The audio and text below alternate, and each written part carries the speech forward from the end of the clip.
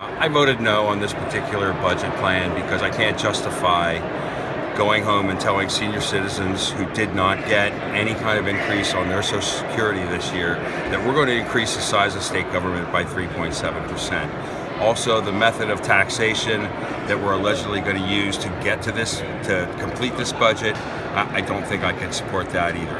I, I can't complain about any of my Republican friends who voted for this. This is certainly simply, you know, my personal feelings and, and reflects the feelings of the people in my district.